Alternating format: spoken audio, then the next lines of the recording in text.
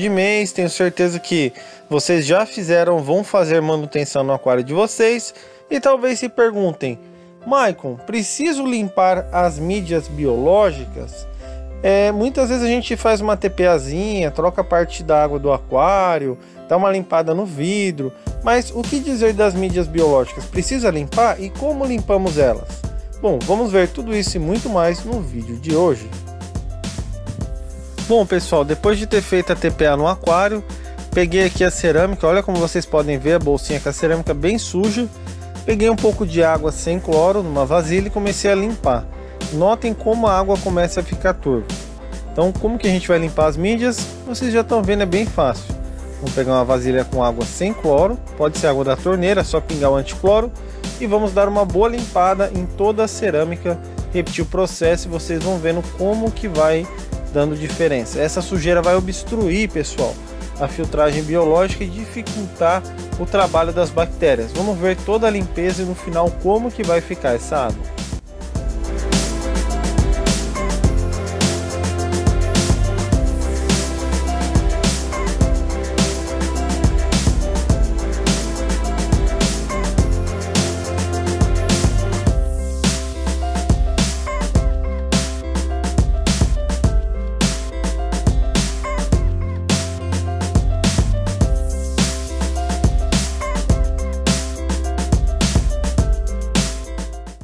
Bom, como vocês podem ver aqui a gente lavou a bag, né, o lugar onde fica as mídias em água corrente com cloro, porque é só a malha, não tem problema, já a cerâmica na água com anticloro.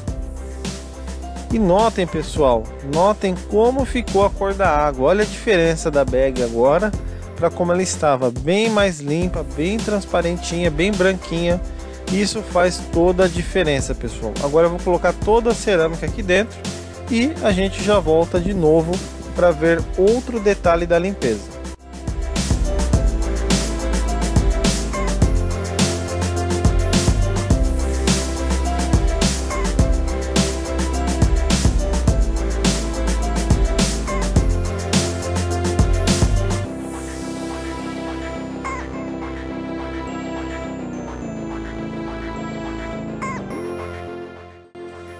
Olha então como ficou bem limpinha a cerâmica, olha que beleza. Agora vou lavar a última bagzinha aqui, ó. Já lavamos as três bags. Isso tudo é do aquário plantado, tá, pessoal? Lavamos tudo. Olha a cor da água como ficou. Bem suja mesmo. Olha só isso, ó. O que, que adianta a gente fazer TPA no aquário e não fazer essa limpeza? Olha a cor da água. Imunda. Agora vou colocar água com cloro mesmo da torneira e a gente vai lavar a aragonita. A aragonita, pessoal, é um produto para alcalinizar a água do aquário, que também junta muita sujeira nela, além do que se forma uma espécie de musgo em volta dela. E se a gente não limpar, ela perde a função dela. Então vou dar uma limpada na aragonita e vocês vão ver a cor que vai ficar a água. Acompanhe aí.